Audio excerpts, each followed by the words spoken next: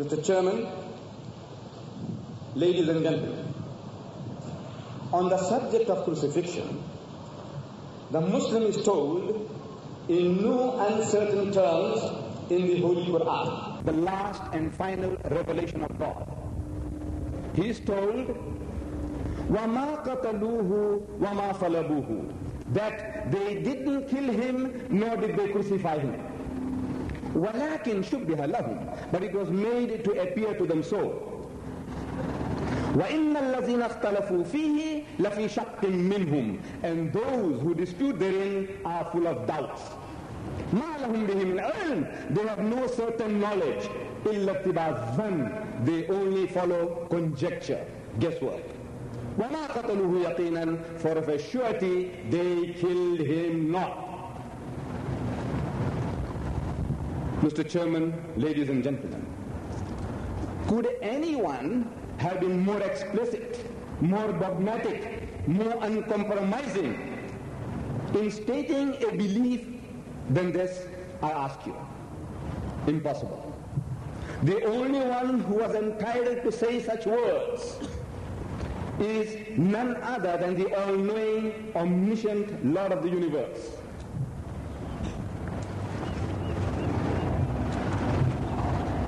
The Muslim believes this authoritative statement as the veritable word of God. And as such, he asks no questions and he demands no proof. He says, these are the words of my Lord, Amanna Saddaqna. I believe and I affirm. But the Christian responds in the words of our honorable guest in his book, Josh McDowell and Don Stewart, in answers to tough questions. On page 116 and 17, he states the Christian attitude towards this uncompromising statement of the Muslim.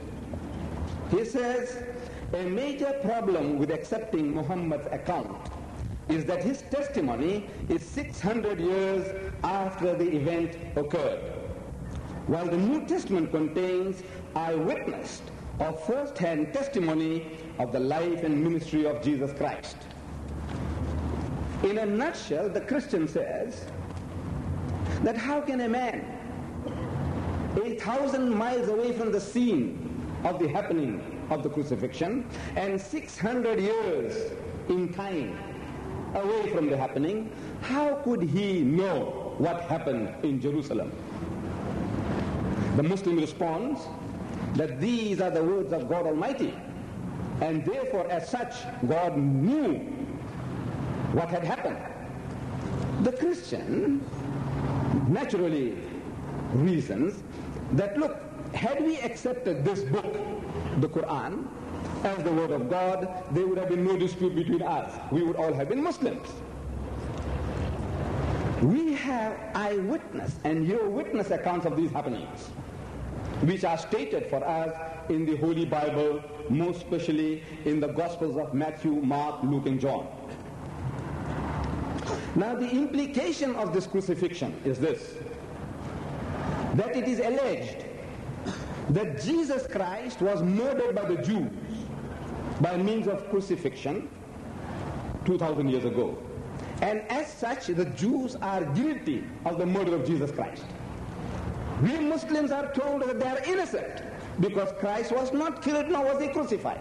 And as such, I am given the brief by the Holy Quran to defend the Jews against the Christian charge. I am going to defend the Jews against this charge this afternoon, not because they are my cousins, but simply because justice must be done. We have our points of differences with the Jews. That is a different question altogether. This afternoon, I will try my very best to do justice to my cousins, the Jews. Now, in this argument, in this debate, this dialogue, I am actually the defense counsel for the Jews. And Josh McDowell is the prosecuting counsel. And you, ladies and gentlemen, are the ladies and gentlemen of the jury. And I want you to sit back relaxed. And at the end of it, give judgment to yourself, to your own conscience, whether the Jews are guilty or not of the charge as alleged by the Christians. Now to get to the point, as a defense counsel for the Jews, I could have had this case against the Jews dismissed in just two minutes in any court of law in any civilized country in the world. Simply by demanding from the prosecuting counsel the testimonies of these witnesses, Matthew, Mark, Luke, and John, and it, when they are presented in the form of affidavits, sworn affidavits as we have them in the Gospels, I could say that these sworn affidavits, in their original, they are not attested. And the proof, you get any authorized King James version of the Bible, and you will find it beginning each and every affidavit begins. The gospel according to St. Matthew, the gospel according to St. Mark, the gospel according to St. Luke, the gospel according to St. John. I'm asking, ladies and gentlemen of the jury, what is this according, according, according? Do you know what it means? It means Matthew, Mark, Luke, and John didn't sign their names. It is only assumed that these are their works. And as such, in any court of law, in any civilized country, they will be thrown out of court in just two minutes. Not only that, I can have this case dismissed twice in two minutes. In any court of law, in any civilized country. I said twice. Because Mark, one of the testators, in the Gospel of St. Mark, chapter 14, verse 50, he tells us that at the most critical juncture in the life of Jesus, all his disciples forsook him and fled.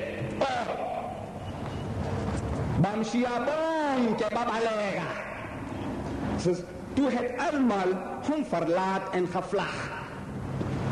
If they were not there, the testimony of those who were not there to witness what happened will be thrown out of court. I said twice in two minutes, in just 120 seconds flat, the case would be over. In any court of law, in any civilized country in the world. But where is the fun of it? You have come along from far and wide after all the threatening rain, and now we say the case is closed and go home. Where is the fun of it? To entertain you, I am going to put these witnesses. I will accept those documents as valid for the sake of this dialogue. And we are now going to put these witnesses into the box for cross-examination. And I want you to see where truth lies. The first witness that I'm going to call happens to be Saint Luke and St. Luke has been described by Christian authorities as one of the greatest of historians. As a historical book, the Gospel of St. Luke is unique. Now we get St. Luke, chapter 24, verse 36, and we ask. I'm going to tell you what he has said, what he has written in black and white. He tells us that it was Sunday evening, the first day of the week, that Jesus Christ, he walked into that upper room, the one in which he had the Last Supper with his disciples. This is three days after his alleged crucifixion. He goes in and he wishes his disciples, peace be unto you. Shalom Aleikum in Hebrew, Salam Aleikum in Arabic, Ubutula Dubenina in Zulu, Frida Fayela in Afrikaans, peace be unto you. And when he said peace be unto you, his disciples were terrified. Is that true? We are asking Luke. And he said yes. I would like to ask him, why were the disciples terrified? Because when one meets his long lost master, his grandfather, his guru, his rabbi, we Eastern people, we embrace one another, we kiss one another. Why should his disciples be terrified? So Luke tells us, he says they were affrighted because they thought he was a spirit. I'm only quoting what he said, and you can verify in your own Bibles at home.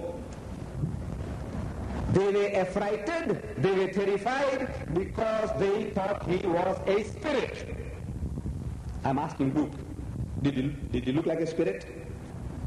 And he says, no. I'm asking all the Christians of the world again and again, of every church and denomination, this master of yours, did he look like a spirit? And they all say no. Then I said, How, why should they think the man is a spirit when he didn't look like one? And everyone is puzzled. Unless Josh can explain.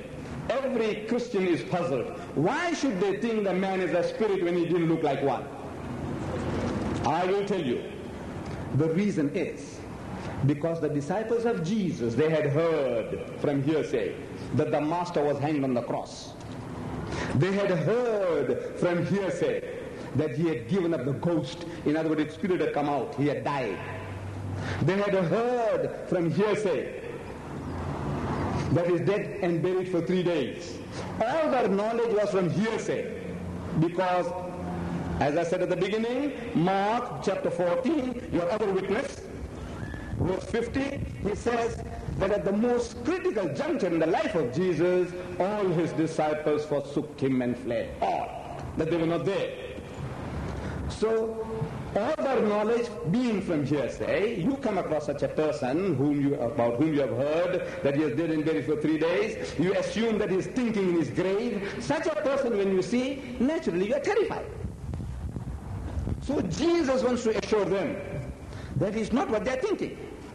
They are thinking that he's come back from the dead, a resurrected spiritualized body. So he says, I'm only quoting what Luke said. He says, Behold my hands and my feet. Have a look at my hands and my feet, that it is I myself. Pagani izandla zami nezinyawo zami ukuthi yimina uqobo says take na my hand and my voete want dit is ek self and the same fellow man. What's wrong with you? Why are you afraid? Say handle me and see handle me and see. For a spirit has no flesh and bones as you see me have. A spirit. Indefinite article. A. A spirit means any spirit has no flesh and bones as you see me have. So, if I have flesh and bones, in that case, I'm not a spirit, I'm not a ghost, I'm not a spook. I'm asking the Englishman, the one who speaks English as his mother tongue. If I have flesh and bones, in that case, I'm not a spirit, I'm not a ghost, I'm not a spook. I said, is that what it means in your language? Steeds het nie vlees en bene soos julle sien dat ek het nie. I said you Afrikaner. When a man tells you that does it mean that he is not what you are thinking? That is not a spirit, is not a ghost, is not a spook. And everybody responds, yes. If a man tells you a spirit has no flesh and bones, it means it has no flesh and bones. As you see me have, I have these things, so I'm not what you're thinking. You are thinking that I was dead and I have come back from the dead, resurrected. A spirit has no flesh and bone. In other words, he's telling you that the body that you are seeing, it is not a metamorphosed body, it is not a translated body, it is not a resurrected body. Because the resurrected bodies get spiritualized. You'd like to know who says so. I said, Jesus. Who says so? My authority is Jesus. You say, where? I said, look, you look again. Chapter 20, verse 36. What does it say? I said, you see, the Jews were always coming to him with poses, with riddles. They were always asking him, Master, shall we pay tribute to Caesar or not? Master, this woman, we found her in the act. What shall we do to her? Master, again and again. Now they come to him and they ask him, he says, Master, Rabbi in the Hebrew language, Master, we had a woman among us. And this woman, according to a Jewish custom, had seven husbands. You see, according to a Jewish custom, if a brother, a man dies, and leaves no offspring, then the second fellow takes a wife. And when he fails, the third, and the fourth, and the fifth, and the sixth, and the seventh. Seven guys had this woman as a wife. But there was no problem while on this earth because it was all one by one. Now they want to know from him that at the resurrection, in the hereafter, which guy is going to have her because they all had her here. In other words, there will be a war in heaven because we believe that we will all be resurrected simultaneously, all together, one time. And if these seven brothers wake up at the same time and they see this woman, and everyone will say, Mayfro, my wife, Umgani, my wife, and there'll be a war in heaven between the brothers for this one, one woman. So they want to know from him which guy is going to have her on the other side. Luke chapter 20, verse 36. Check it out. In answer to that, Jesus says about these resurrected men and the women, He says, neither shall they die anymore. In other words, once they are resurrected, they will be immortalized. This is a mortal body. It needs food, shelter, clothing, sex, rest. Without these things, mankind perishes. That body will be an immortalized body. An immortal body. No food, no shelter, no clothing, no sex, no rest.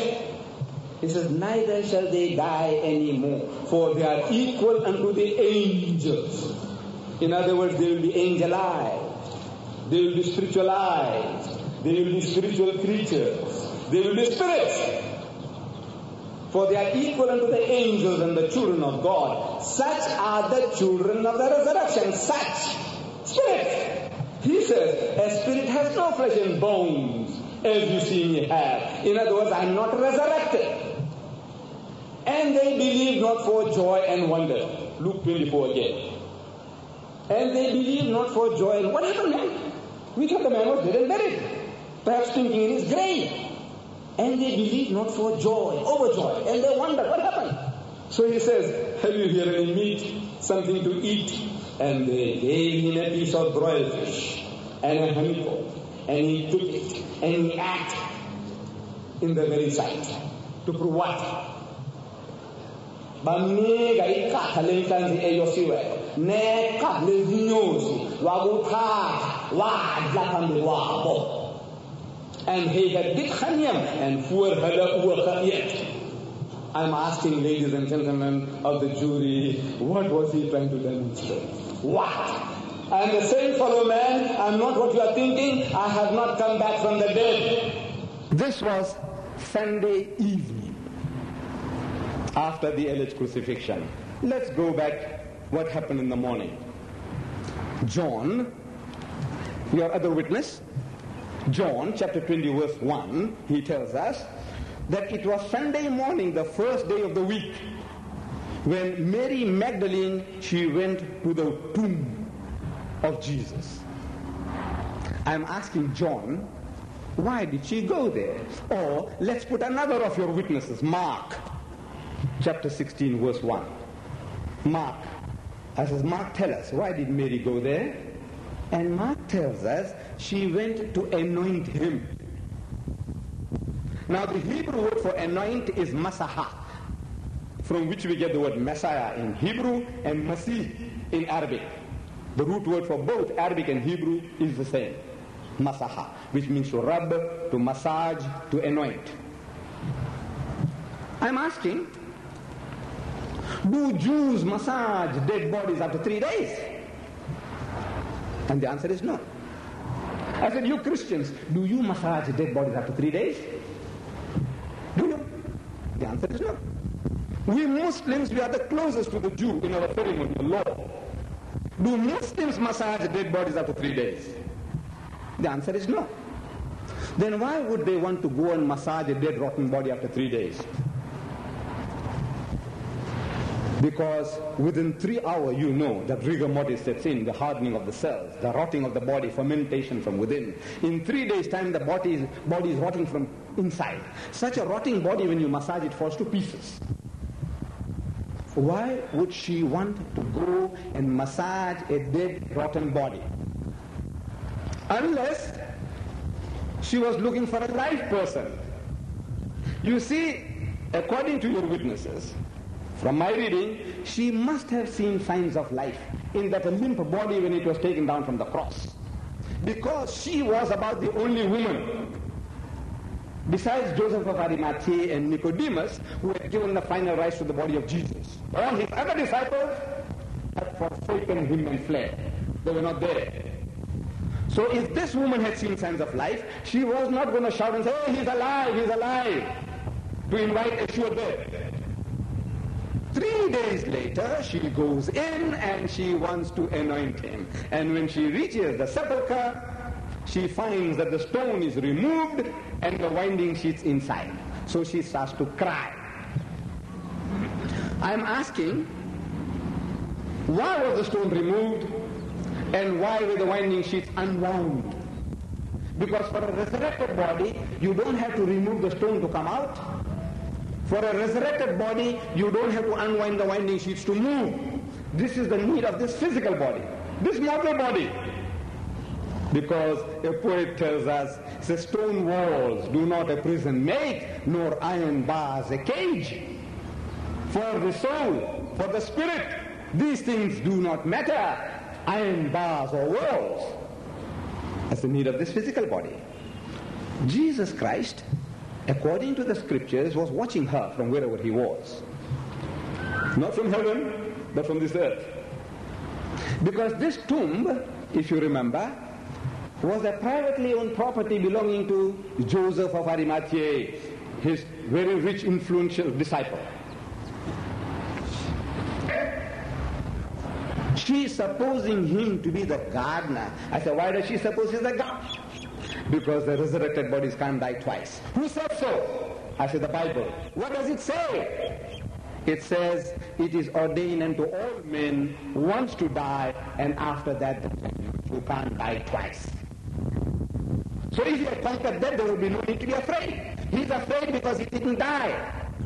So she's supposing him to be the gardener. Says, sir, if you have taken him hence, tell me where have you laid him to rest, to relax, to recuperate, not have you buried him.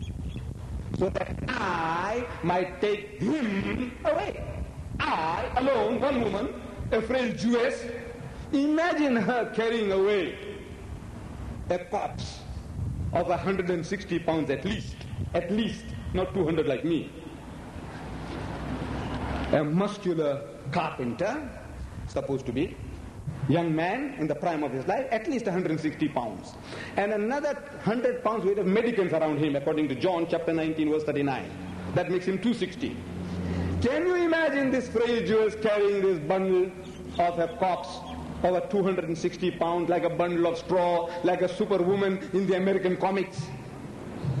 And take him where? Take, her, take it home, put it under a bed, what does she want to do with it? Want to pickle him? What does she want to do with a rotting body? I ask you. She wants to take him away, that I might take him away. This is your language. You must tell me, ladies and gentlemen, that in my language, when it is said a spirit has no flesh and bones, then it means a spirit has flesh and bones. This is how you have to correct me. You must tell me you don't understand English, Mr. Deedat. Or American English. That in America, when we say a spirit has no flesh and bones, it means a spirit has flesh and bones. When a woman says that I might take him away, it means she's got a, a troop with her. So Jesus, the joke had gone too far. So he says, Mary. The way he said Mary she recognized that this was Jesus. So she wants to grab him. I'm asking why. To bite him? No, to pay respect. We Eastern people do. She wants to grab him. So Jesus says, touch me not. I say, why not? Is he a bundle of electricity, a dynamo, that if she touches him, she'll get electrocuted? Tell me, why not? I say, because it hurts. You give me another reason. Why not? Touch me not, for I am not yet ascended unto my Father. Is she blind? Can't she see the man is standing there beside her? What does it mean that I'm not gone up when he's here? He said, I am not yet ascended unto my Father. In the language of the Jew, in the idiom of the Jew, he's saying, I am not dead yet.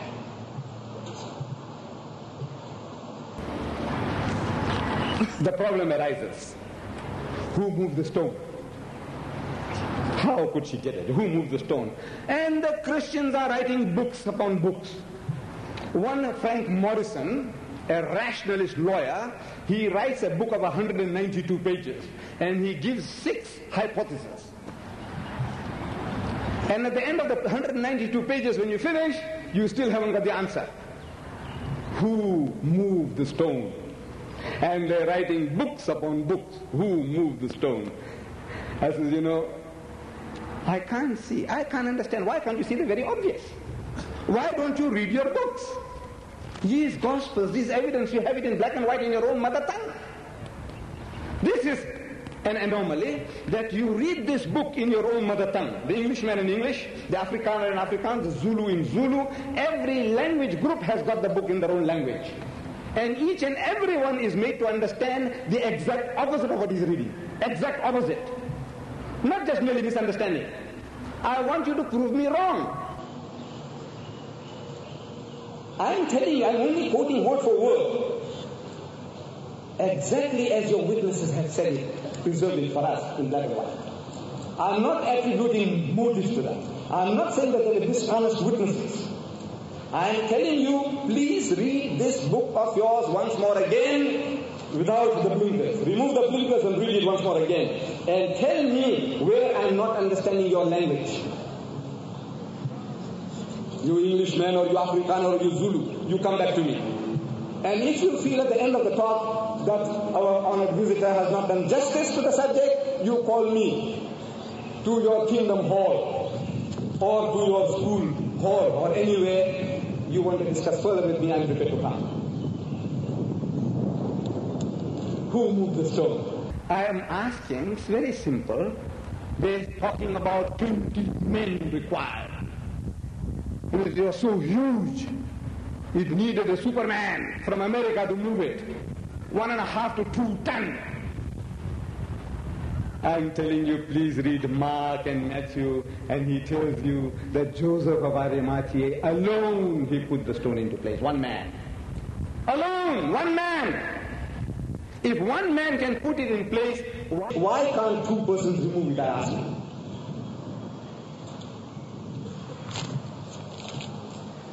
Now, all those happenings you know, that it was prophesied, it was ordained, and all the stories about what ought to have happened and what happened.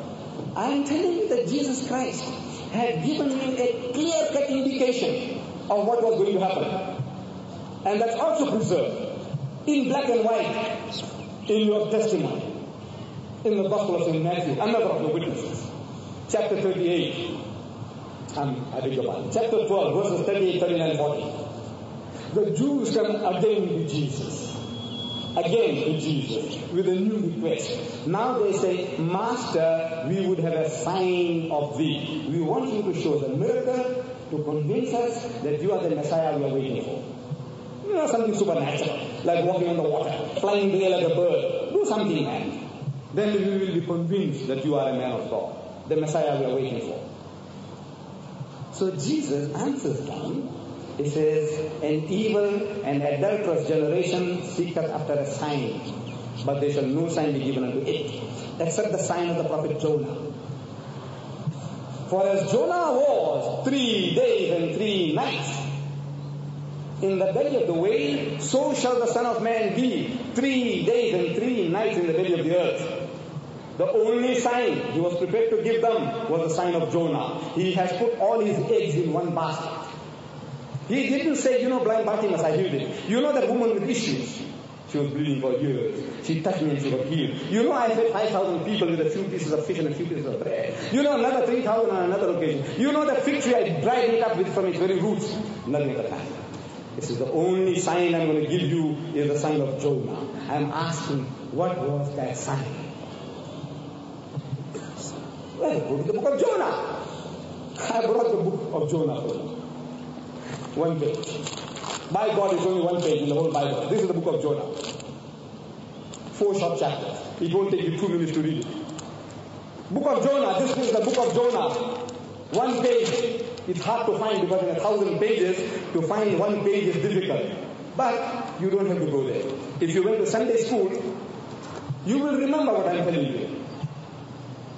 I'm telling you that Jonah was sent to the Ninevites. You know, God Almighty told him, go to Nineveh, a city of 100,000 people, and warn them that they must repent in sackcloth and in ashes, humble themselves before the Lord, and come right.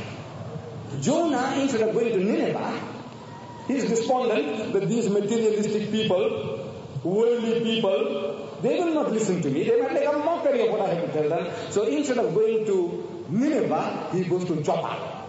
That's what this one book, one page book tells you. He went to Joppa. And he's taken a boat and he's going to Tarshish. You don't have to remember the names. On the way there's a storm. And according to the superstitions of these people, anyone who runs away from his master's command, who fails to do his, do, uh, do his duty, creates such a turmoil at sea. So they began to question in the boat who could be responsible for this turmoil. Jonah realizes that as a prophet of God, he was a soldier of God. And as a soldier of God, he had no right to do things presumptuously on his own. So he says that, look, I'm the guilty party.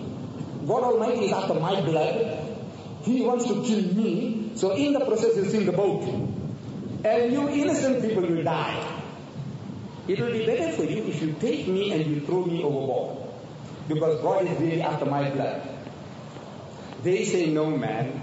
You know, you are such a good man, perhaps you want to commit suicide, we won't help you to do that. We have a system of our own of discovering right from wrong, and that is what they call by casting of lots, like head or tail, head or tail. So according to the system of casting lots, no, not throwing dice, it came to the turn of Jonah that Jonah was found to be the guilty man. And so they took him and they threw him overboard. Now I'm going to ask you a question that when they threw him overboard, was he dead or was he alive? Now, before you answer, I want you to bear in mind that the man Jonah had volunteered. He said, throw me. And when a man volunteers, you don't have to strangle him before throwing. You don't have to spear him before throwing. You don't have to break his arm or limb before throwing. You agree with me? The man had volunteered. So when they threw him overboard, your common sense, what does it say? Was he dead or was he alive? Please, I want your help. Was he dead or was he alive? Alive. You get no prize for that. It was too simple a question. And astonishing. The Jews said he was alive, the Christians said he was alive, and the Muslims said he was alive. How much nicer it would be if we would agree on every other thing like that. We are all agreed that he was alive when he was thrown into that raging sea and the storm subsided. Perhaps it was a coincidence. A fish comes and gobbles him, dead or alive. Was he dead or was he alive? Alive! Thank you very much. From the fish's belly, according to the book of Jonah, he cries to God for help. Do dead men pray, Mr. Budina? Do they pray? Dead people, do they pray? Dead people pray.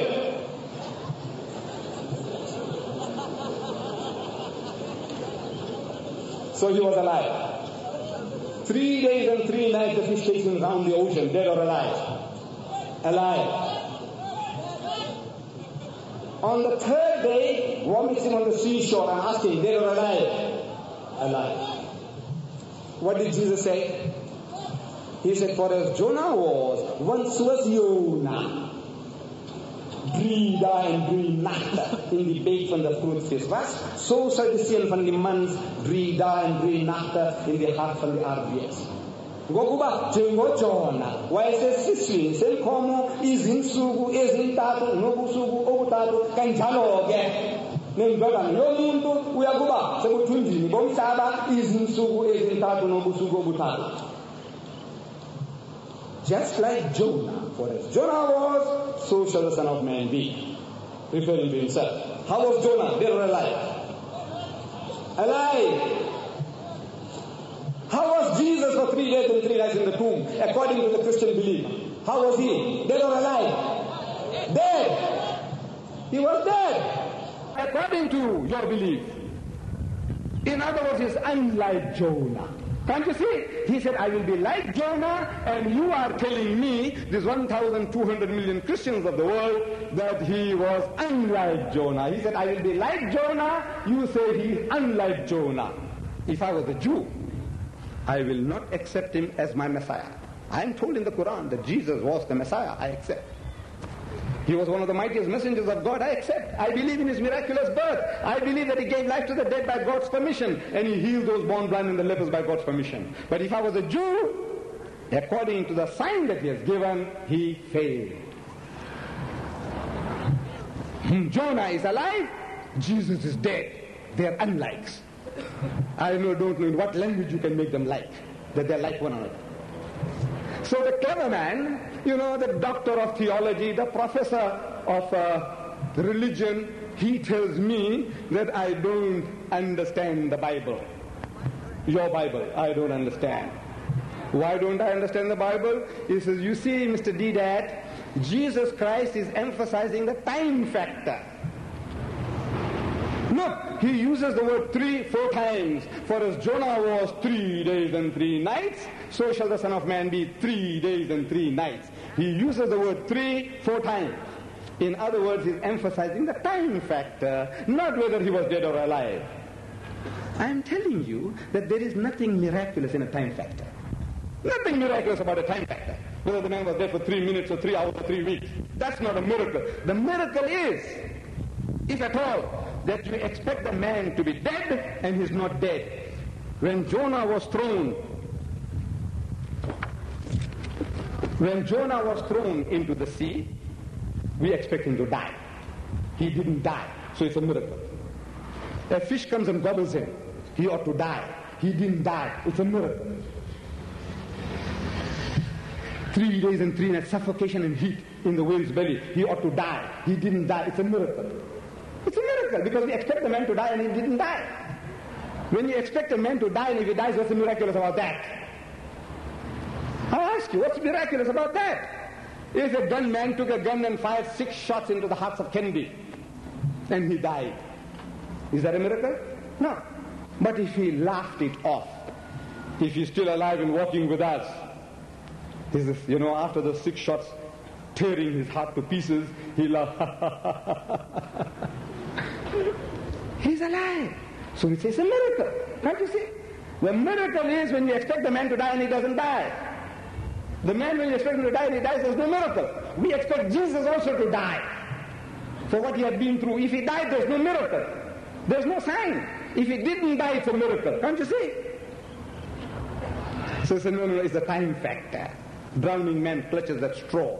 Drowning women do the same.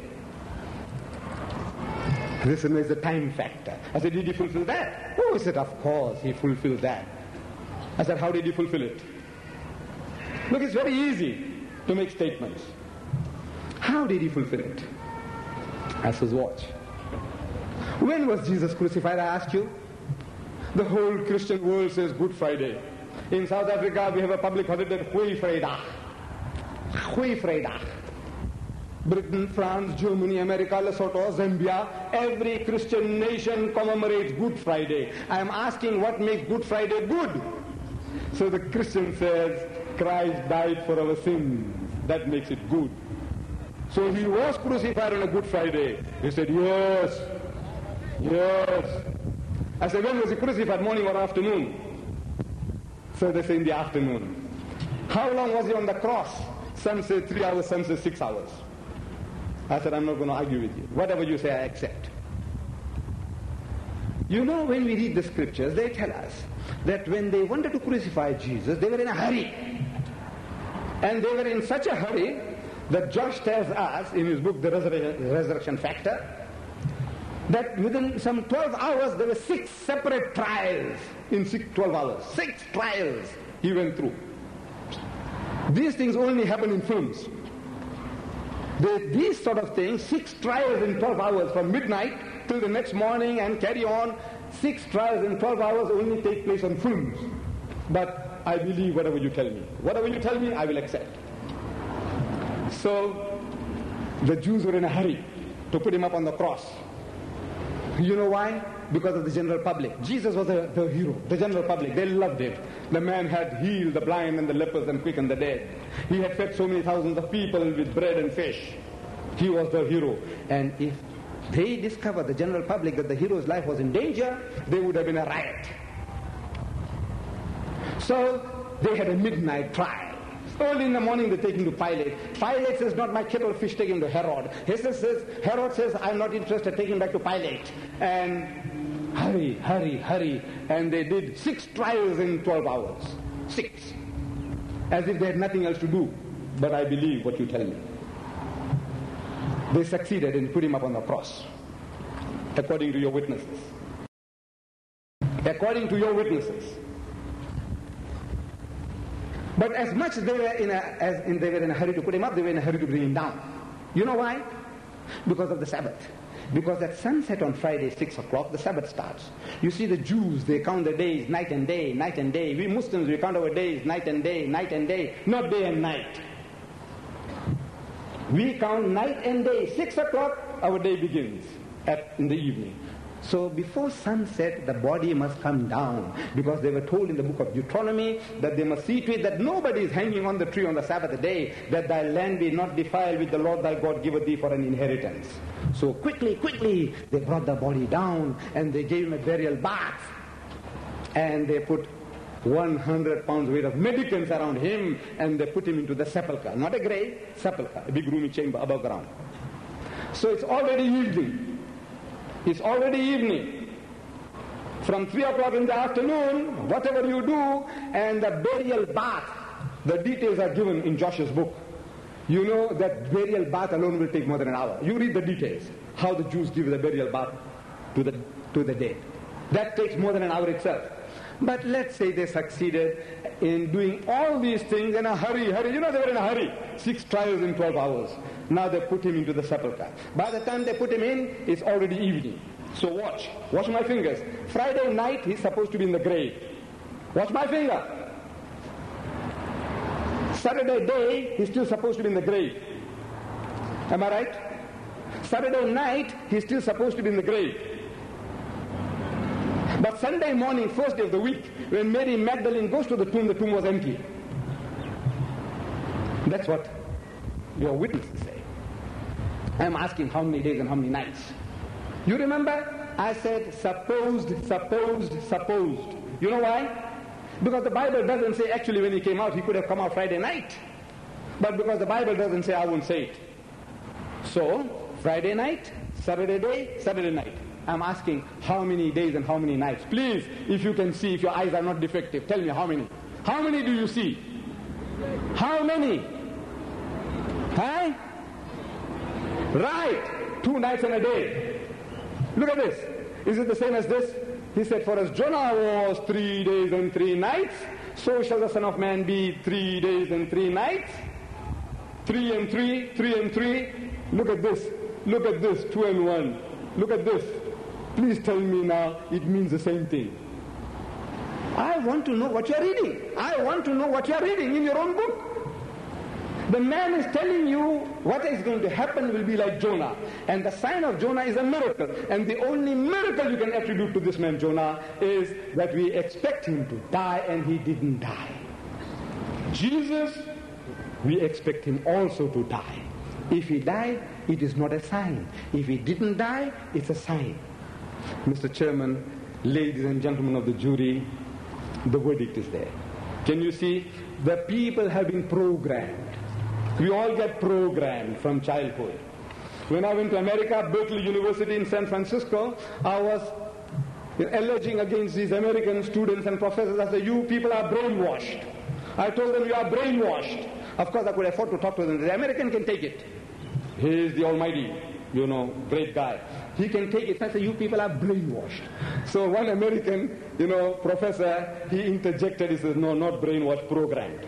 I said, I beg your pardon, programmed. So Mr. Chairman, ladies and gentlemen, I hope by the time this meeting is over, you will be reprogrammed into reading the book as it is and not as you are made to understand. Thank you very much, ladies and gentlemen.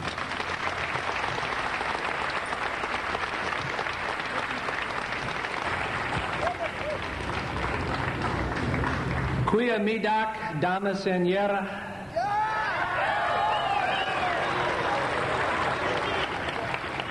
Sabon, Salam.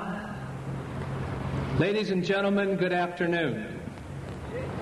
Mr. Deedat and the wonderful people of this city and country of South Africa, I am thankful for the opportunity to be a part of this symposium on Islam and Christianity's view of the crucifixion and the resurrection. In preparation for this, I didn't realize in coming to it that I would probably have to deal with so many diverse different theories on the crucifixion from the Islamic viewpoint. I found out, first of all, that the majority of the Muslims throughout the world hold to the substitutionary theory.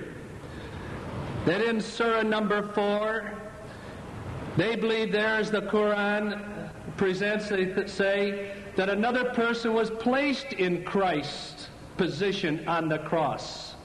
That Jesus was removed and taken to heaven. In other words, it was someone else. But then when I found I got to that someone else, I found such a diverse opinion. Some say, the Muslim writers say, that it was a disciple of Jesus that was placed on the cross in his stead. Another Muslim writer, Tabari, quotes Ibn Ishaq, said it was a man by the name of Sargus or Sergius who was placed on the cross. Another Muslim writer by the name of Baidavi said it was a Jew named Titanus that was placed on the cross. Another Athalabi says it was a Jew named Phaltayanus that was placed in the cross. And still another Muslim writer Wahb ibn Munabbih said it was a rabbi of the Jews, a Shayu, that was placed on the cross. Then others, feeling that it might be a little unfair to put an innocent man there, said, well, it must be Judas Iscariot that was placed on the cross. Now, Mr. Deedat might be able to correct me, but I do not believe there's any evidence whatsoever in the Quran for that. There is in some of these sects earlier than Islam that have references to that.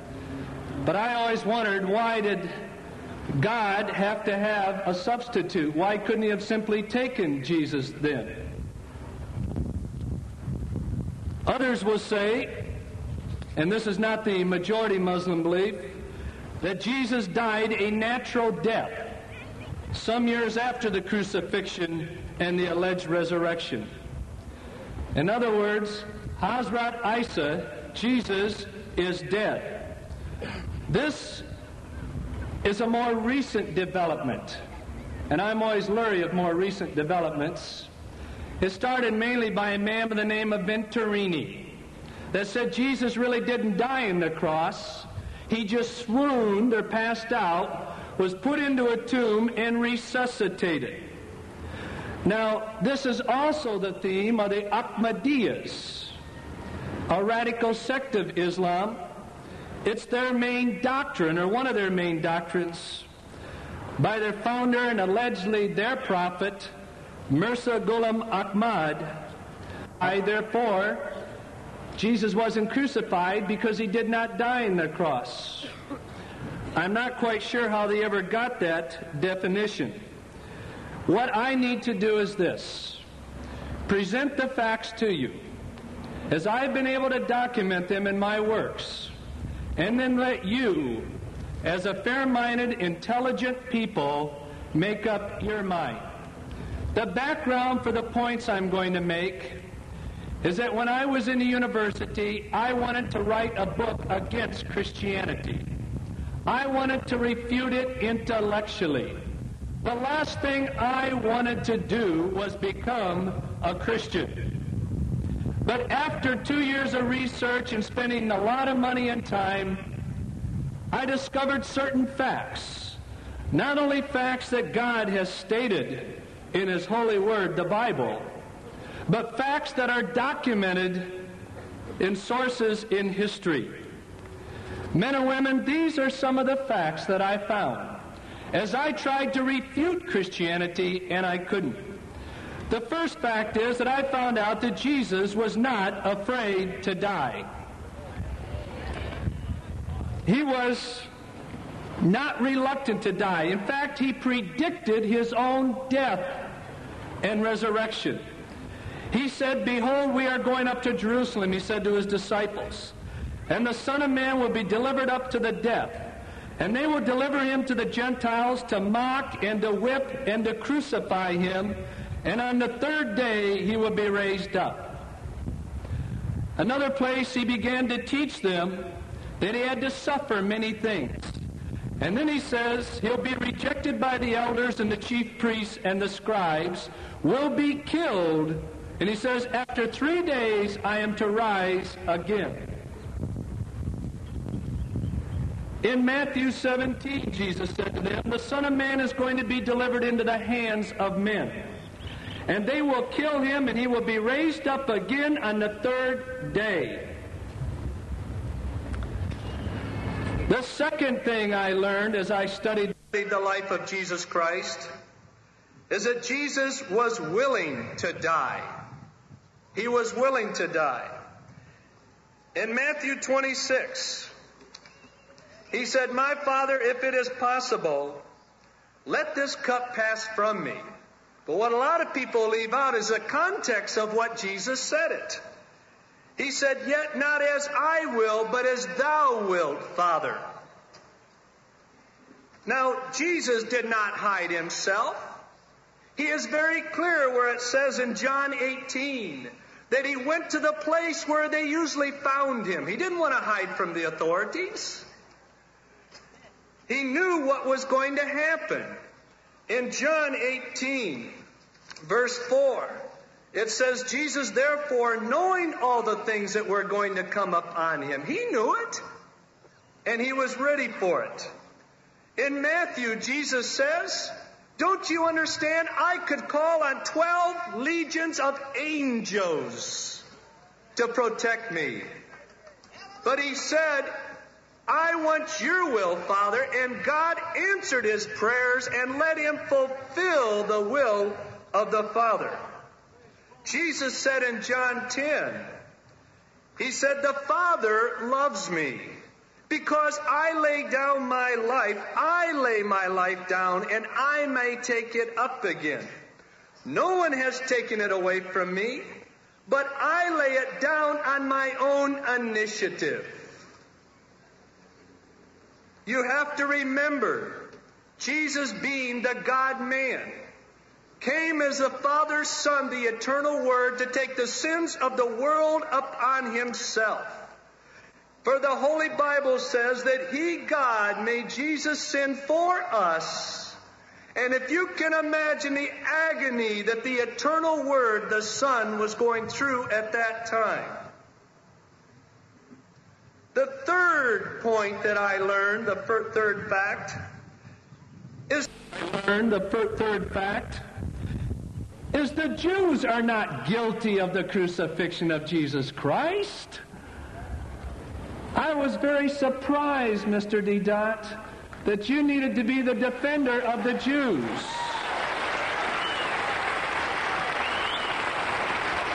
There are Muslims and Christians that get that distorted all through history. Jesus said in Matthew 20, verses 18 and 19, He said, We are going up to Jerusalem, and they will condemn me to death and will deliver me over to the Gentiles to mock and whip and crucify him. Jesus said, I lay down my life. If anyone was guilty, Jesus was. He said, I have the power to lay it down, I have the power to take it up. Also, Mr. Deedat, I feel that you and I both are responsible. Because the Bible says, please, the Bible says, for all have sinned and come short of the glory of God. It was our sins that drove Jesus Christ to the cross. The fourth fact that I learned is that the Christians are called to an intelligent, intellectual faith, not a blind faith. I was quite surprised when I read in the little booklet what was the sign of Jonah by Mr. Ahmed Deedat. He said over 1,000 million Christians today blindly accept that Jesus of Nazareth is the Christ.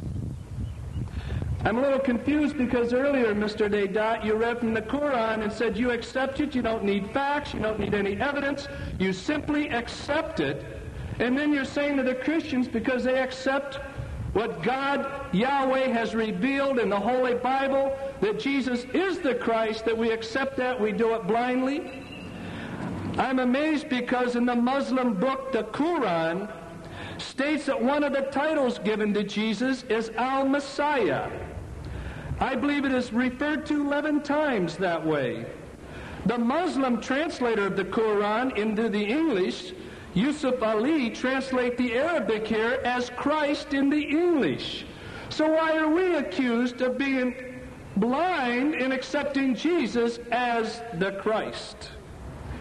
In my country, one of the greatest legal minds that ever lived, the man that made in my country the varsity or University of Harvard famous was Dr. Simon Greenleaf, the great legal mind.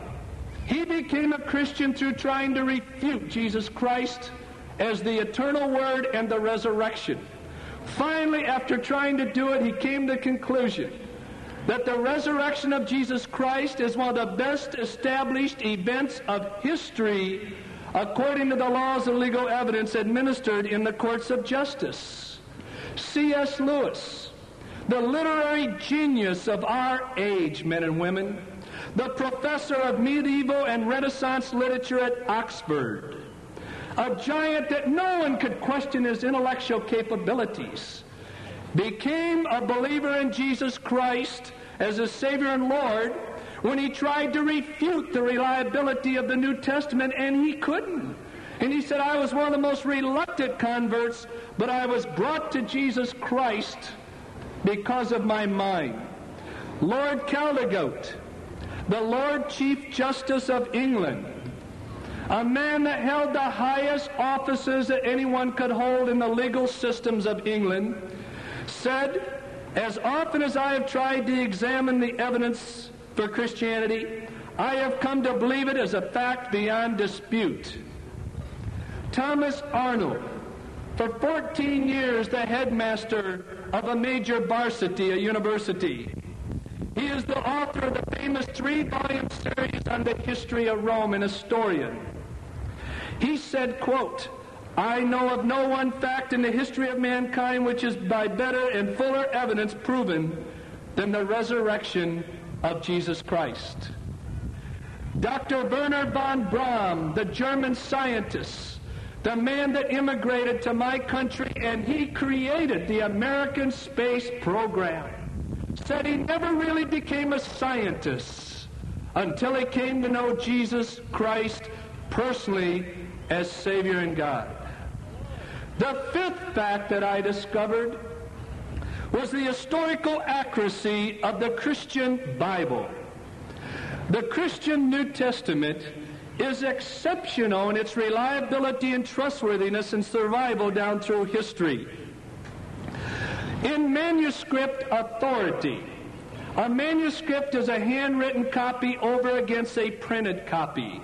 Men and women of the Christian New Testament alone in history, there are more than 24,000 manuscripts, not versions, Mr. Deedat, manuscripts, copies.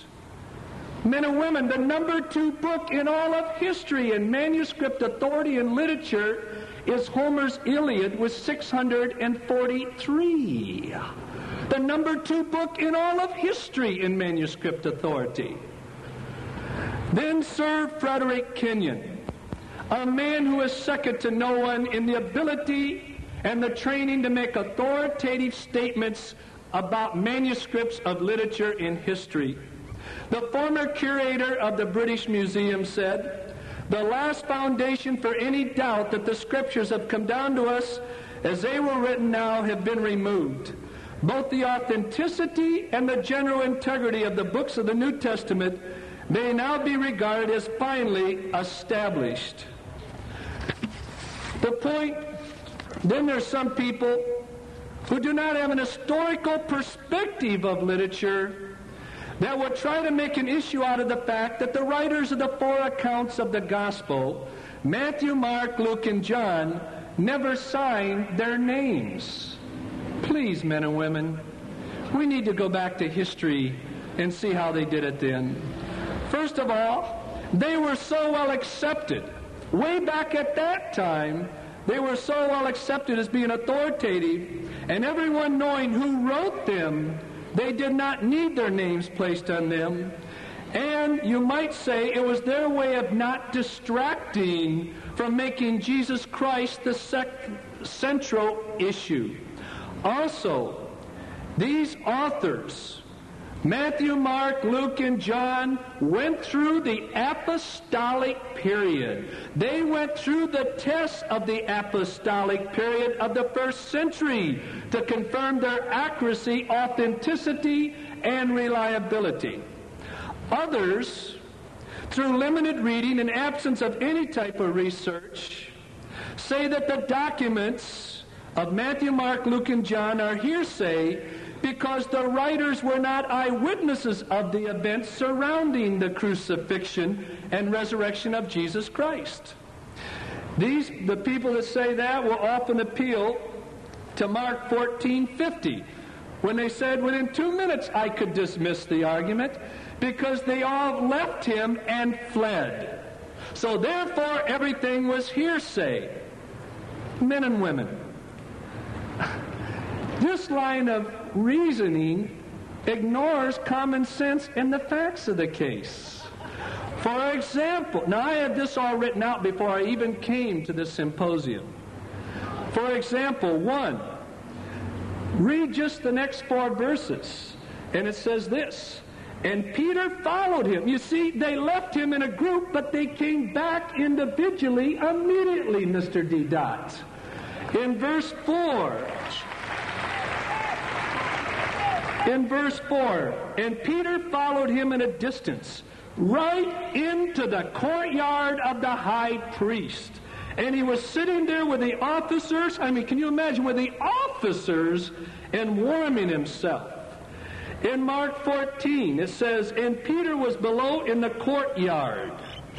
Men and women, if you have studied the scriptures, you'll realize that Mark in his gospel was writing down all the eyewitness accounts of Peter. Peter was right there. Then we go to John 18, verse 15. And Simon Peter was following Jesus, and so was another disciple. Now the disciple was known to the high priest and entered in with Jesus into the very court of the high priest. John 19. And when Jesus therefore saw his mother and his disciple, whom he loved, standing right near by the cross, he said after three days, or excuse me, he said to his mother, Woman, behold your son. They were eyewitnesses, they were there. About being permissible in a court of law. In most legal situations, you have what can be referred to as an ancient document rule. Now, you have to go to law to substantiate these things. Dr. John Warwick Montgomery, a lawyer and a dean of the Simon Greenleaf School of Law, a lecturer at the International School of Theology and Law in Strasbourg, France, said that the application of the ancient document rule to the documents in the New Testament, especially the four Gospels, he says, this is a head of a law school speaking, applied to the Gospel records and reinforced by responsible lower textual criticism, this rule would establish competency in any court of law. Some of the eyewitness testimony, the greatest eyewitness testimony, is not found in the Gospels. It is found in 1 Corinthians, the epistles by the Apostle Paul, chapter 15. Written in 55 to 56 AD, I have yet to find a reputable scholar that will deny that. Paul says, now he'd already 20 years earlier, right after his conversion, he had met with the leaders. He had met with James, the brother of Jesus, in Jerusalem. He said, The tradition passed on to me is there were over 500 eyewitnesses of the resurrection. Now, if you take that in a court of law, give each eyewitness just six minutes, that would make 3,000 eyewitnesses or, or minutes of eyewitness testimony or 50 hours of eyewitness testimony. However, that's not the key point here. That was the tradition handed down to him that he had examined. But Paul says then, the majority of them are still alive right now. Not when the tradition was passed down, but right now. Paul was saying this Men and women, if you don't believe me, ask them. Also, many people overlook the fact that when the message of Jesus Christ was presented by the apostles and the disciples, and the New Testament was shared, in the audience were the presence of hostile, antagonistic witnesses. If they would have dared to have depart from the truth of what was said, there was in the audience the presence of hostile witnesses to immediately correct them. In a court of law, that is the principle of cross examination. They did not dare to depart from the truth. Also, apart from the body, the Bible, you have several extra biblical secular sources here. One, a man by the name of Polycarp that was a disciple of the Apostle John. He writes in his works, going back almost 2,000 years ago, so firm is the ground upon which these Gospels rest that even the heretics themselves could not undermine it. They had to start from what was presented and then develop their own heresy. Because even then they could not say, Jesus didn't say that, Jesus didn't do that, that they couldn't do that. So they had to start with what he said and develop their own heresy. The conclusion of many scholars is a tremendous confidence in the Christian Bible. Dr. Millar Burrows, on the staff, who was on the staff of Yale University in my country, one of our most prestigious universities said, there is an increase of confidence in the accurate transmission of the text of the New Testament itself. Dr. Howard Vos, a researcher and archaeologist, said, from the standpoint of literary evidence, the only logical conclusion is that the case for the reliability of the New Testament is infinitely stronger than any other record of antiquity. The sixth fact that I discovered that Christ was crucified. What does the historical, reliable record show? It is clear not only from the Christian biblical historical record, but also from secular sources, which I documented in the back of my book, Evidence That Demands a Verdict, that he was not only predicting his death by crucifixion, but that he was actually crucified. Jesus said that he would be whipped and delivered over to be crucified. And then in John 19, they took Jesus therefore, and he went out bearing his own cross to the place of the skull. There they crucified him with two other men, one on either side, and Jesus in between. Now let's follow through what happened at crucifixion. First of all, it points out that Jesus was whipped by the Romans. What did that mean? The Romans would strip a person down to the waist, would tie him in the courtyard. Then they would take a whip, a, had a handle about a foot and a half long. At the end of the handle, it had at least four leather thongs that went out with heavy, jagged bone or balls of lead with jagged edges wound into the end of the straps, a minimum of five. Then they would they would be at different lengths. They would bring the whip down over the back of the individual, and all the balls of lead or bone would hit the body at the same time, and then they would yank it down. The Jews would only permit 40 lashes. So they never did more than 39 so they wouldn't break the law. The Romans could do as many as they wanted. So custom pointed out when the Romans whipped a Jew, they did 41 or more out of spite to the Jews. And so he had probably at least 41, if not more, lashes.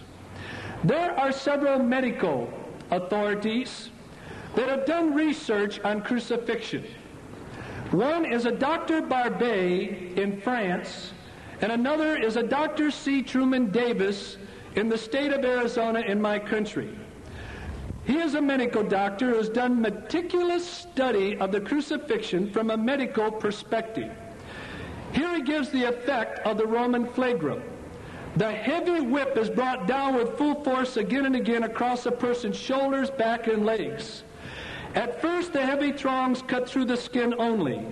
Then, as the blows continue, they cut deeper into the subcutaneous tissue, producing first an oozing of blood from the capillaries and veins of the skin, and finally spurting arterial bleeding from vessels and underlying vessels. vessels. The small balls of lead first produce large, deep bruises, which the other blows cut wide open. Finally, the skin on the back is hanging in long ribbons, and an entire area is an unrecognizable mass of torn, bleeding tissue. Other sources I have documented said sometimes the back is literally opened up, men and women, to the bowels from within. Many people died just from the whipping. Then they took out and drove spikes into his wrists and his feet. Now it says late that afternoon on Friday that they broke the legs of the two thieves hanging with Jesus, but they did not break his legs. Now, why did they break someone's legs? When you were prostrate on the cross, or hanging there, they bent the legs up underneath and drove the spike through. When you died of crucifixion, often what happened, you died from your own air the pectoral muscles would be affected and you could not let your air out. You could take it in but not let it out. And so you'd hang there and suffocate. So you push up with your legs, let the air out, and then come down and take it in. When they wanted to bring about the death immediately, they broke their legs and they couldn't push up and they would die. Now, Jesus' legs were not broken. As the Bible, the Holy God revealed in His holy word, the Bible, that Jesus had died. Now, if they had broken his legs, men and women, he would not have been our Messiah. He would not have been the eternal Word because God, Yahweh, in the Old Testament prophesied in Psalms that his legs would not be broken. His bones would not be broken. Men and women, he was fulfilling what God, Yahweh, had already revealed would take place. The ninth fact that I discovered was that Christ. What time is mine over with? How much more? Well, how much more time? 20 minutes? Christ was dead. That's the ninth fact that I discovered. Men and women, in John 19:30, Jesus willed himself to die. That's why it didn't take so long. He came to die. He said, I lay my life down. And in John 19, he says, It is finished, and he bowed his head and he gave up the spirit. He willed himself to die. Now in John 19, verse 34, that Mr. Deedat in his booklet has referred to as evidence that Jesus was not dead, the blood and water. He was on the cross. They'd already acknowledged him being dead, but they thought they'd give a parting shot, as you would say. They took a spear and thrust it into his side. Eyewitness accounts said blood and water came out separated. Mr. Deedat, in his book, appeals to this phenomena as evidence that Christ was still alive. He supports this in his writings by an appeal to an article in the Thinker's Digest, 1949, by an anesthesiologist. I was able to acquire medical research by various people into this area. I just shared two of the findings. One from a scholastic viewpoint. Many medical and university or varsity libraries now that once carried this journal no longer does so.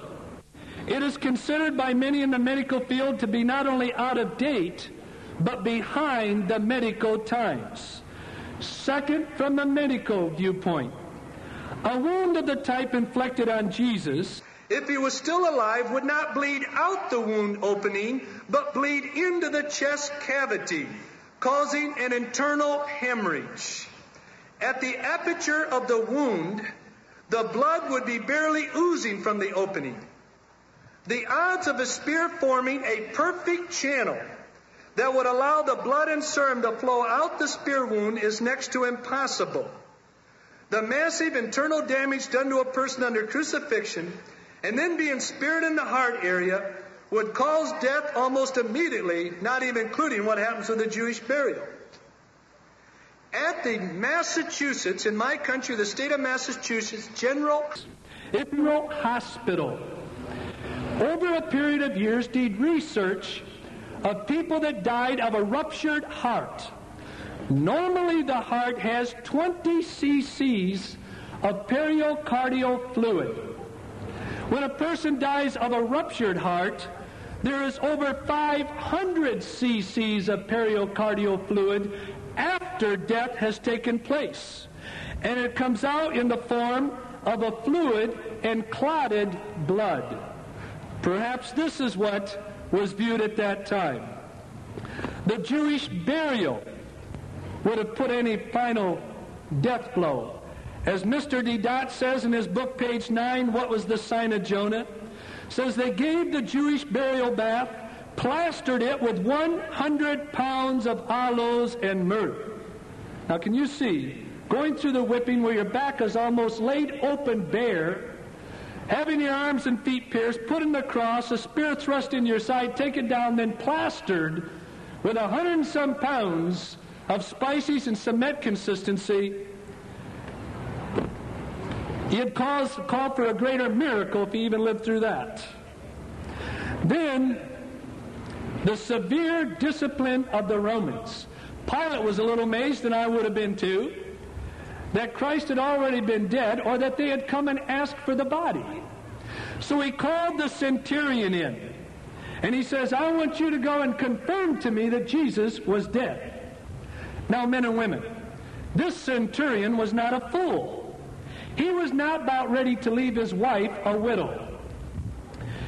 The centurion would go out, and they would always check with four different executioners. That was Roman law. There had to be four executioners. They did that so in case one man was a little lax, the other one would catch him in it. And you would never have all four lax in signing the death warrant. Now, discipline was severe with the Romans. For example, when the angel let Peter out of jail in Acts 12 in the New Testament, Herod called in the guard and executed them all just for letting one man out of jail. Paul and Silas in Acts 16 in the Christian New Testament The doors had been opened up of the jail, their chains had been loose, and the moment the guard saw they were gone, he pulled out his own sword to execute himself. And Paul says, wait a minute. You see, that guard knew he would rather die by his own sword than be executed by the Romans.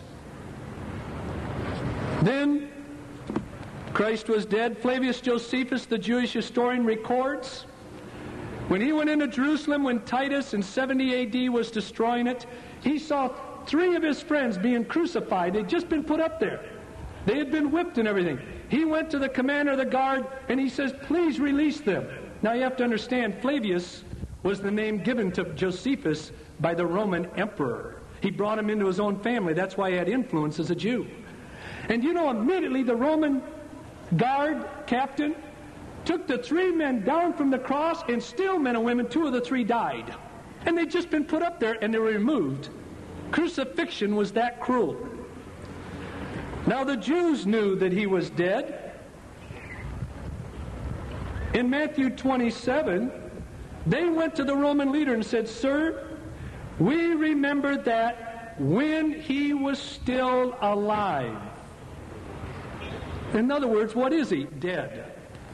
When he was still alive, he said, After three days I am to rise again.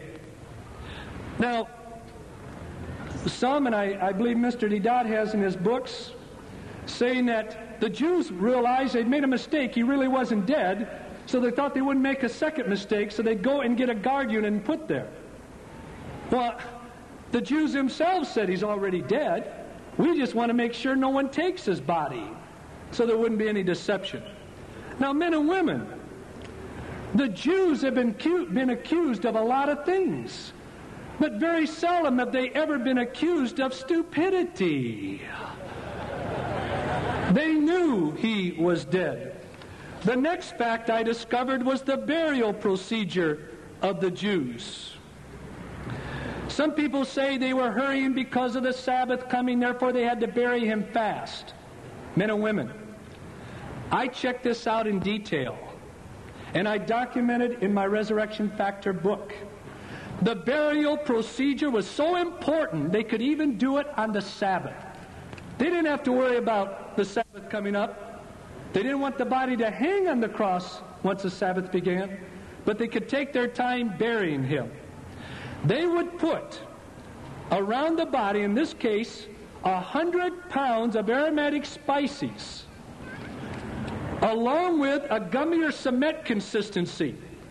They would stretch the body out or straighten it out. They'd take a piece of linen cloth 30 centimeters wide. They would start to wrap the body from the feet. In between the folds, they put the cement consistency and the spices, wrap up to the armpits, put the arms down, start below the fingers, wrap to the neck, and a separate piece around the head. In this situation, I would estimate an encasement of 117 to 120 pounds. The next fact that I discovered is that they took extreme security precautions at the tomb of Jesus Christ. One, it says they rolled a large stone against the tomb. Mark says the stone was extremely large.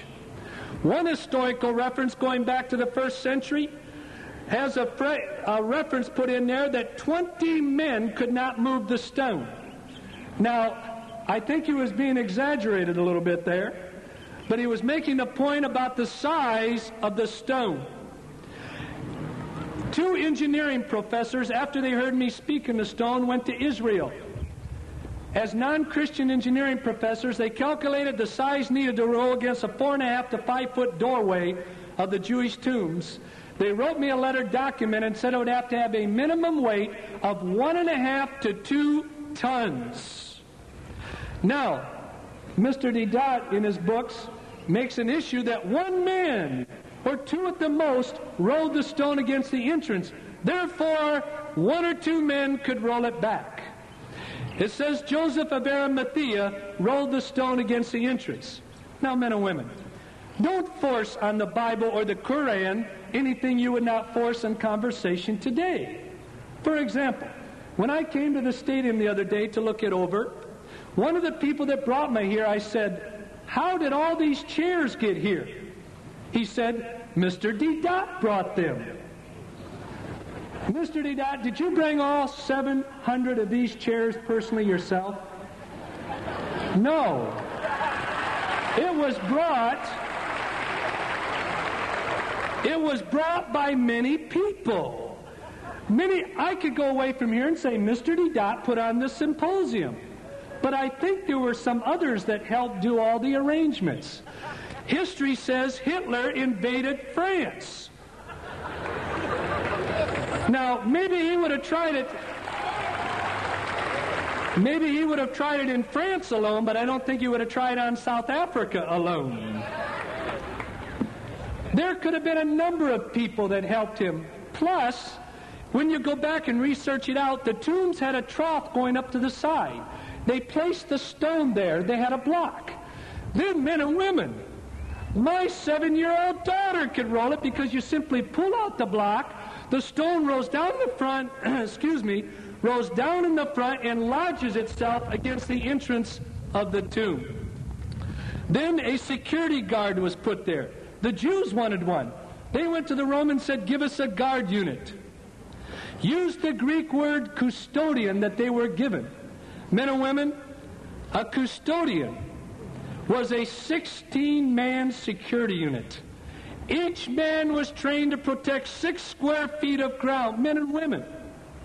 The 16 men, according to Roman history, were supposed to be able to protect 36 square yards against an entire battalion and hold it. Each guard had four weapons on his body. He was a fighting machine. And it's almost the same thing true of the temple police. Next, a Roman seal was placed on the tomb with a Roman insignia. That seal stood for the power and the authority of the Roman Empire.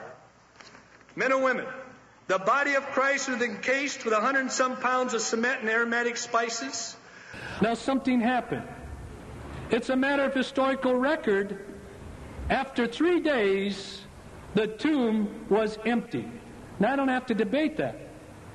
Mr. Deedat agrees the tomb was empty. So I won't waste any time here. The sign of Jonah. I'm so glad you brought that up. The sign of Jonah.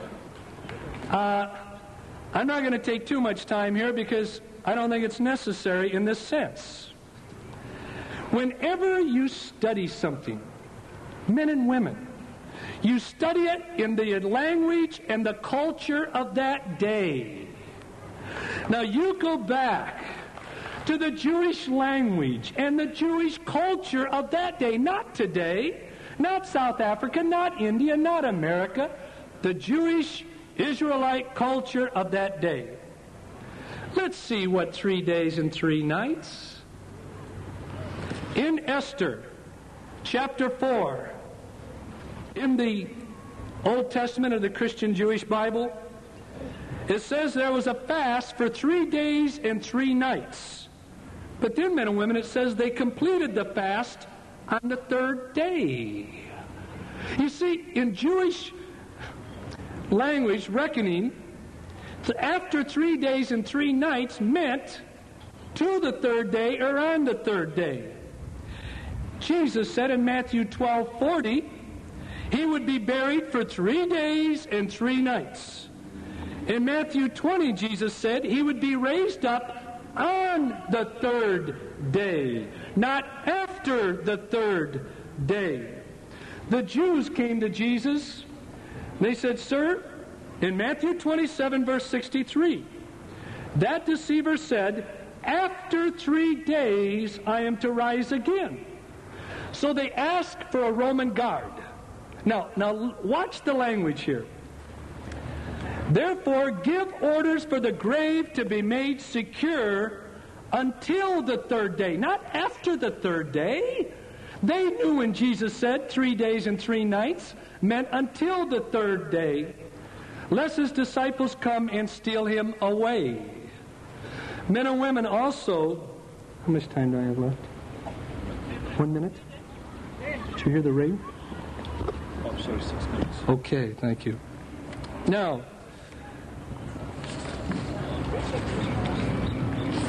three days and three nights until the third day. Friday, before six o'clock, he had three hours to be buried. It took less than an hour. The Jewish reckoning of time in the Jewish Talmud and the Babylonian Jerusalem Talmud, the Talmud men and women are the commentaries of the Jews said any part, an onan, O-N-A-N, any part of a day is considered a full day. From Friday before 6 o'clock, from Jewish reckoning, any minute there was one day and one night. From Friday night at 6 o'clock to Saturday at 6 o'clock was another day and another night, men and women. From Jewish reckoning, not ours, from Jewish reckoning, any moment after 6 o'clock Saturday night was another day, another night. We do the same thing in my country. If my son if my son was born one minute before midnight on December the 31st, on my income taxes to my government, I could treat my son with the same time principle as having been born one full year, 365 days, and 365 nights. Now, the Roman guard, when that Roman guard failed in duty, they were automatically executed. One way they were executed, they were stripped of their clothes and burned alive in a fire started with their own clothes.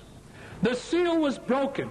Men and women, when that seal was broken, the security forces were thrown into finding that man or men.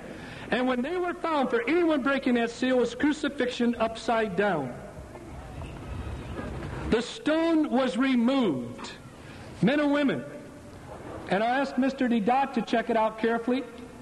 The revealed Word of God in the Christian New Testament, if you study the original language of the Greek, like the Quran is in Arabic, the New Testament is in Greek, it points out that one and a half, two ton stone, men and women, was rolled up a slope away from not just the entrance, but away from the entire tomb, looking like it had been picked up and carried away. Now, men and women, if they wanted to tiptoe in, move the stone over, and help Jesus out, why all the effort to move a one and a half to two ton stone up away from the entire sepulchre? That guard unit would have had to have been sleeping with cotton in their ears with earmuffs on not to have heard that one. Then Mary went to the tomb. In John 20, Mr. Deedat says he went there to anoint the body, and the word anoint means to massage. Well, let me tell you, if that's true, it's not, but if it was true, and that's the way Muslims do it, in medical doctors, if I went through crucifixion, had my hands and feet pierced, my back laid open to the bowels, hundred and some pounds put around me, I wouldn't want anyone to massage me. The word anoint means consecrated. As Mr. Deedat brought out in his book, the priests and kings were anointed when being concentrated, consecrated to their office. When they said, Is my time up? When they said, Touch me not, Mr. Deedat says it means, I am hurting, don't touch me. What? Read on the next phrase, Mr. Deedat. It says, Do not touch me because I have not yet ascended to the Father. And that's why not to touch me because I've sent it to the Father. And then he says, Now go tell my disciples I am ascending to the Father. A little bit later he said, You can touch me, grab my feet. Why'd they do that? Oh, men and women, this is one of the most beautiful things. In the Old Testament with the tabernacle, the Jewish high priest would take the sacrifice into the Holy of Holies. And the people would wait outside because they knew if God did not accept their sacrifice, the priest would be struck dead. They would wait for the high priest to come back. And when the high priest walked back out, everybody shouted with joy because they said, God has accepted our sacrifice. Jesus said, Don't touch me. I've not ascended to the Father. Jesus, from that time until the others grabbed a hold and touched him, ascended to God the Father presented himself as a sacrifice, and men and women, If Jesus had not come back, if he had not permitted the others to touch him, his sacrifice would never have been accepted. But I thank God he came back, said, Touch me. It's been accepted.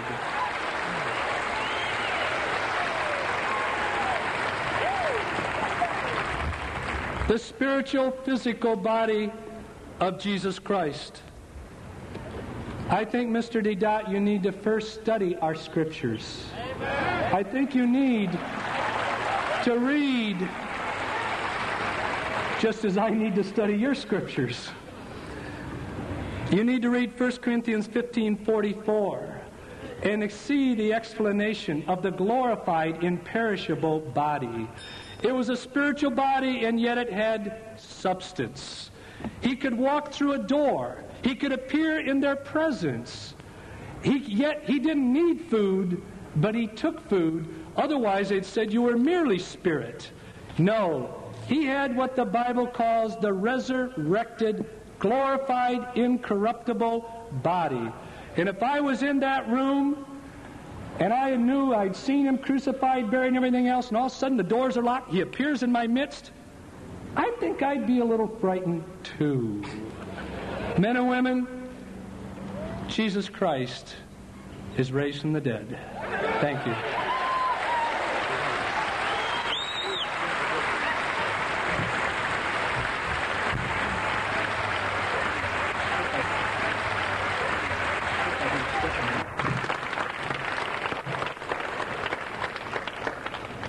Mr. Chairman and ladies and gentlemen of the jury. The crux of the problem, the clear-cut statement by Jesus Christ that the mistake that the disciples were making in thinking that he had come back from the dead by assuring them that a spirit has no flesh and bones as you see me have. This is King's English, basic English and one does not need a dictionary or a lawyer to explain to you what it implies. Throughout the length and breadth of the 27 books of the New Testament, there is not a single statement made by Jesus Christ that I was dead and I have come back from the dead. We have been beating the Christian has been belaboring the word resurrection again and again by repetition, it is conveyed that it is proving a fact. You keep on seeing a man, the man is eating food, he says he was resurrected. He appears in the upper room, he was resurrected. Jesus Christ never uttered that word that I have come back from the dead. In the 27 books of the New Testament, not once. He was there with them for 40 days. And he never uttered that statement. He is proving again and again that he is the same Jesus, the one who had escaped death, so to say, by the skin of his teeth. Because he was ever in disguise. He never showed himself openly to the Jews. He had given them a sign. No sign shall be given unto it except the sign of Jonah. No sign but this. And he never went back to them, to the temple of Jerusalem, to tell them, here I am. Not once. He was ever in hiding. Now, we will not belabor the things that are past. The points raised were that Jesus was not reluctant to die. He had actually come for this purpose. Now, my reading of the scriptures tells me that not only he was reluctant, but he was preparing for a showdown with the Jews. You see, at the Last Supper, he raises the uh, problem of defense. He's telling his disciples, he says, you remember when I sent you out on your mission of preaching and healing, and I told you that you were not to carry anything with you, no purse, no sticks, no staff. Did you lack anything? And they said, no, we lack nothing. But now I tell you, he tells them, that those of you who have no swords, swords, must sell their garments and buy them. You must sell your garments and buy swords. I'm asking you, what do you do with swords? Do you pare apples? or you cut people's throats. What do you do with swords? So one of them said, Master, we are two already. And he said, that is enough. And he takes his disciples, 11 of them, Judas had already gone to betray him, 11 disciples and himself, and they walk to Gethsemane. And at Gethsemane, read the book. Read your Gospels and it will tell you that Jesus puts eight men at the gate. I'm asking you, why should he go to Gethsemane in the first place? And why put eight at the gate, telling them, tarry here and watch with me? I mean, stop here and keep guard. Guarding what? What was there to guard in Gethsemane? A courtyard, olive press, empty place. What were they, the disciples, to guard five miles out of town at Gethsemane? I ask you. Then he takes with him Peter and the two sons of Zebedee. At least two of them had swords. And he makes an inner line of defense and he tells them, Stay here, sit here and watch with me while I go and pray yonder. I alone go and pray beyond. I'm asking you, why did he go to Gethsemane? Why did he go there to pray? Couldn't he have prayed in that upper room where they had the Last Supper? Couldn't he have gone to the temple of Jerusalem, a stone's throw from where they were? Why go five miles out of town?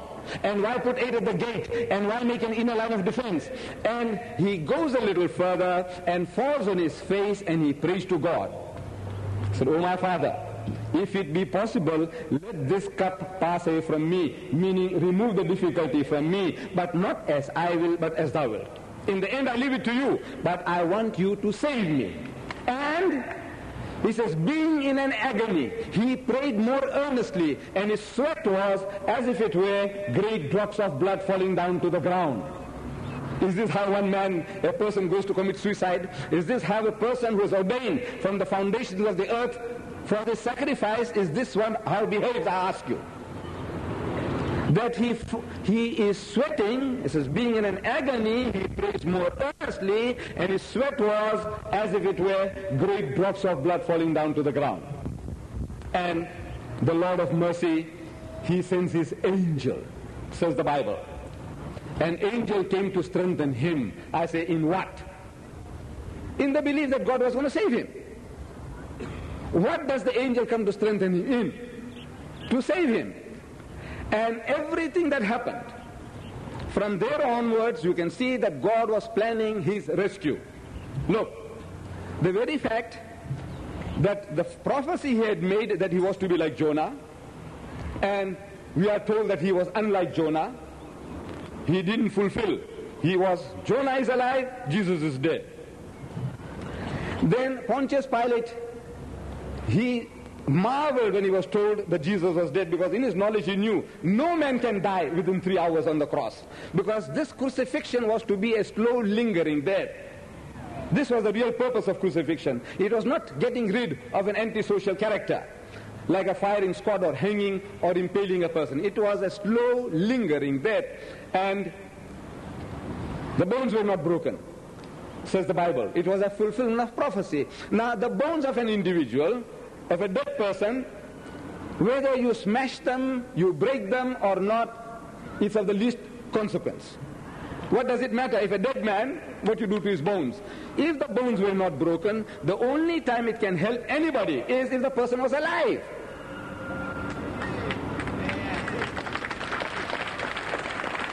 So you see now, this two, for 2,000 years now, you see, it's a programming, continuous programming, and Paul has put the whole gamut of religion on one point, on this death and resurrection, because he tells us, 1 Corinthians chapter 15, verse 14, he said, if Christ is not risen from the dead, your, our preaching is vain, our faith is vain, useless. You haven't got a thing. So now, like drowning men clutching at, clutching at straws, the Christian must hook or by crook prove that somehow kill the man so we can earn salvation. Now, we would like you, Mr. Chairman, ladies and gentlemen of the jury, to read this book once more again, and the testimony, word for word, you, if you examine the prophecies, what Jesus says, and the way he behaves, it is a conclusive proof that Christ had not been crucified.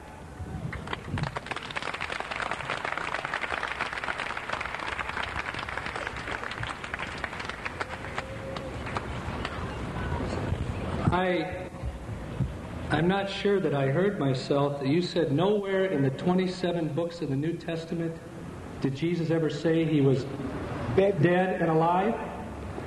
May I read to you from the book of Revelation, chapter 1, verse 18?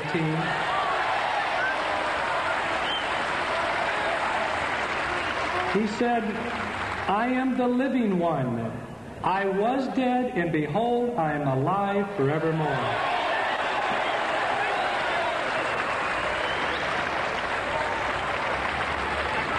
I also, Mr. Deedat, he appeared to the Jews. The whole New Testament was started with Jews. He appeared to the greatest Jewish antagonist, the Apostle Paul, when he was Saul of Tarsus, and brought him to himself.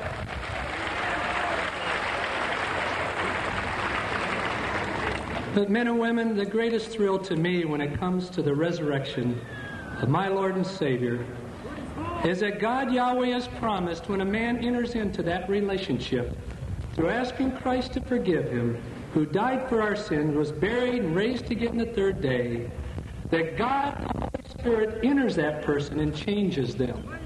And one of the greatest evidences is my own life. After I came to the point where I acknowledged Jesus Christ as my Savior and Lord, surrendered my will to Him and trusted Him men and women, in about six months, a year, year and a half, the major areas of my life were changed. One, I developed a desire to live a holy and godly life.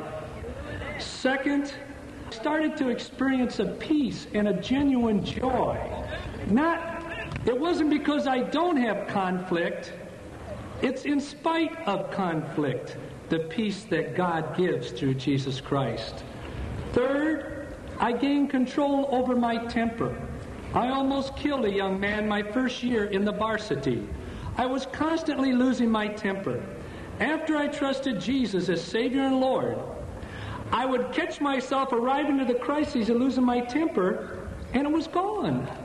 Not only my friends noticed it, but my enemies did a lot sooner.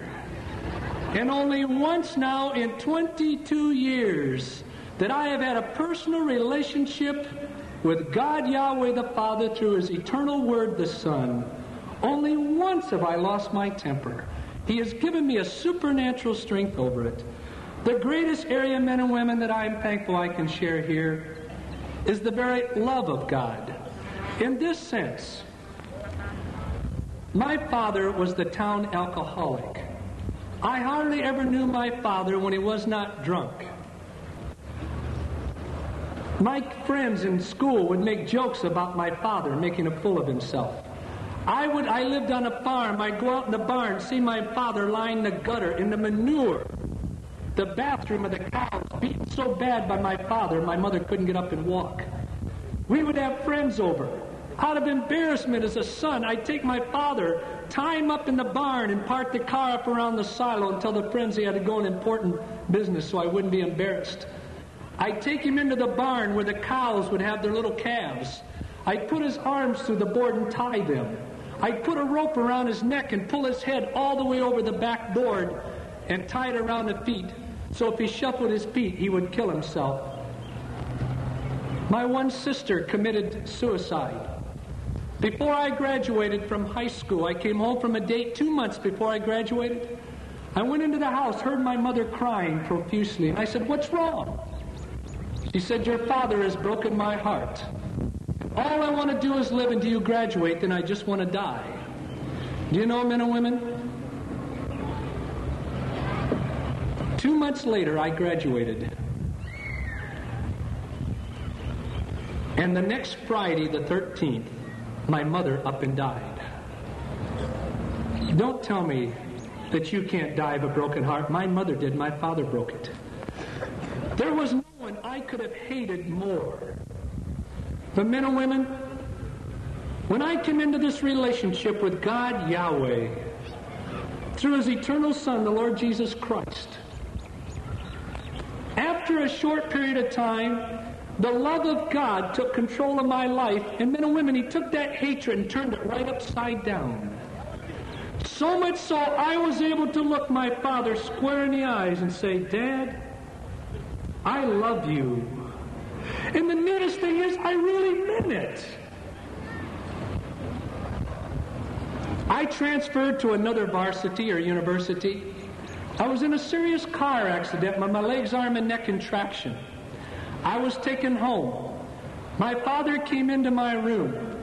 He was very sober because he thought I was almost dead. He asked me this question, men and women. He said, How can you love a father such as I? I said, Dad, six months ago, I despised you. I hated you. Then I shared with him how I had come to the conclusion and seen so clearly that God, Yahweh the Father, had manifested himself to us, humanity, through the eternal Word, his Son. And that he had died for my sins. That's the anguish he went through, Mr. Deedat. If you can imagine all the sins of the world, your sins and my sins would be enough. But all the sins of the world upon his Son. The anguish that was. And I said, Dad, somehow I asked Christ to forgive me. I asked him to come into my life as Savior Lord. I said, Dad, as the result of that, I have found the capacity to love and accept not only you, but other people just the way they are. I can look at you, Mr. Deedat, and say, I honestly love you. God has given me that supreme. I, I love you so much, I'd love you to come to know Jesus Christ as Savior Lord. And my father, and my father finally just said, Son, if your God can do in my life what I have seen him do in your life, then I want to know him personally. Right there, my father just prayed something like this God, if you're God, and Christ is the eternal Word, your Son, if you can forgive me and come into my life and change me, then I want to know you personally. Men and women, my life was basically changed in six months to a year to a year and a half. And there's still many areas for God to change. But tell you, my father, his life was changed right before my eyes. Mr. Deedat was like somebody reached out and turned on a light bulb. Do you know he only touched whiskey once after that? He got it to his lips and that was it. He didn't need it anymore. Fourteen months later, he died because three fourths of his stomach had to be removed as a result of 40 some years of drinking. But do you know, ladies and gentlemen, in that 14 month period, scores of businessmen in my hometown and surrounding area committed their lives to a living God through the eternal Word, Jesus Christ. Because of the changed life of the town drunk. My wife, Dottie, puts it this way. She says, honey, because Christ was raised from the dead, he lives. And because he lives, he has an infinite capacity through the Holy Spirit to enter a man or woman's life and change them from the inside out. That is why the resurrected living Christ that said in one of the 27 books, I was dead, now I am alive. He can say, I stand in the door of your life and knock. If anyone hears my voice and open the door, I will come in.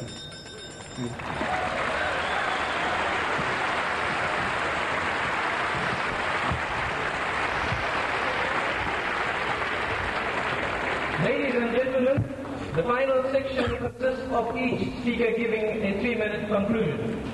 I now call upon Mr. Ahmed Deedat. Mr. Chairman and ladies and gentlemen of the jury, man is covered by nature. From the beginning of Adam, remember passing the buck, it's not me, it's the woman, and the woman, it's not me, it's the serpent. Man is covered by nature. And we want somebody else to carry the burden for us. We want somebody else to take the medicine when we are sick. We want somebody else's appendix to be removed when, ours is rotten. This is man in general. But Jesus Christ This is not what he said. He wanted you to take up your own cross. Get yourself crucified. Listen, he says, He is not of me who does not take his cross and follow me. Take up your cross and follow me. In other words, get yourself crucified. No, no, no, no. No, he didn't mean that. What he meant was that as I carry my responsibility, you carry yours. As I pray, you pray. As I fast, you fast. As I'm circumcised, you be circumcised. What I do, you do. You carry your own responsibility. This is what he meant. Now, th- that is the Islamic system. This is what Islam teaches. You see, the system that saves you after years of alcoholism, after years of pinching 10 cents from the collection plate, you read it here, Josh's book. He said every Sunday the only thing he got out of church was he was putting in 25 cents and 13, taking out 35 for milkshake. And then later on in life, if we study, we find the same thing is being done on a very high level of intellectualism. But we haven't got the time to go into that. Let me end with the message of Jesus. He says, Verily, verily, I say unto you, except your righteousness exceed the righteousness of the scribes and the Pharisees, ye shall by no means enter the kingdom of heaven. There's no heaven for you. This is what he says. These are his words. And what is happening is you are not contradicting his words. This is Islam. Unless you are better than the Jew, there is no heaven for you. He didn't say it's a blood, but your righteousness.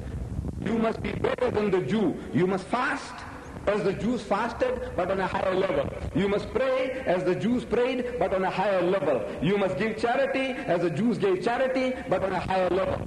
And that is Islam. So, Mr. Chairman, ladies and gentlemen of the jury, I say that this resurrection, as has been addressed by Josh in America under the heading Hoax or History, I would conclude that here are 1,000 million people are being taken for a ride on a cross. They are being taken for a ride on a cross. In Durban, every week we have our horses taking thousands of people for a ride, every horse. But here, uh, you are being taken for a ride on a cross. Thank you very much, ladies and gentlemen.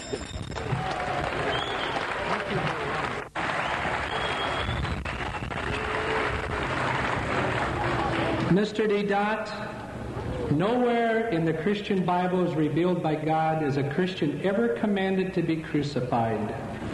We are told to be acknowledged that we are already crucified in Jesus Christ.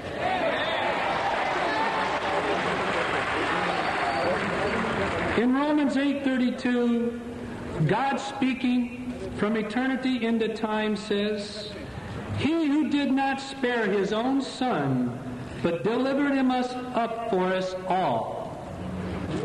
In my country, a young lady was picked up for speeding, brought before the judge. The judge said guilty or not guilty. She said guilty.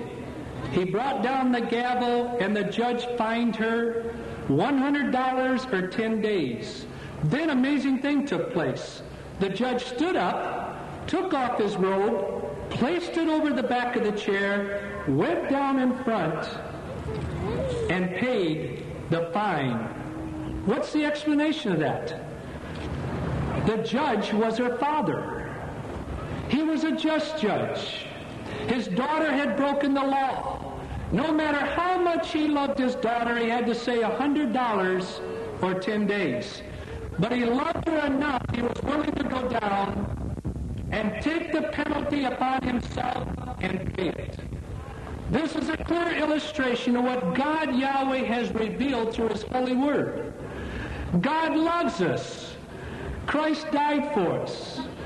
The Bible very clearly points out the wages of sin is death. So God had to bring down the gavel. But men and women, he loved us so much he was able to set aside his judicial robes in the man Jesus and come down in the form of the man Jesus Christ and go to the cross and pay the price for us. And now he can say, I stand the door of your life and knock. And if anyone hear my voice and open the door, I will come in.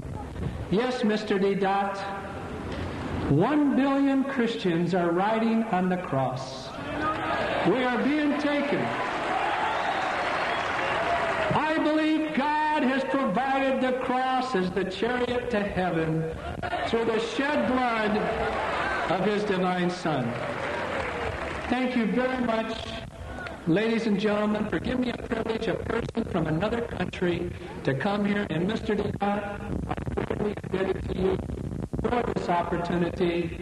And uh, when you come to my country, we'll have dinner together. You pay and I'll pray. Okay, thank you.